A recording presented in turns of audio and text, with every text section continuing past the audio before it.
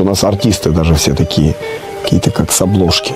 Вот не- пробивает вообще ни черта вот во мне, ни черта. Они все не умеют ни плакать, ни кричать. Они органично говорят, типа написанный текст, понимаете? Вот интересно, а как тебе работалось с этими ребятами? С Тинькофф? Мало, четыре дня я снимался. А, да? Да. То есть вы особо... Я вообще не из этого сериала.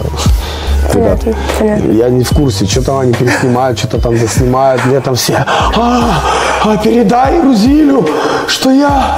Я думаю, о, все, ребята, я выключаю на Инстаграм.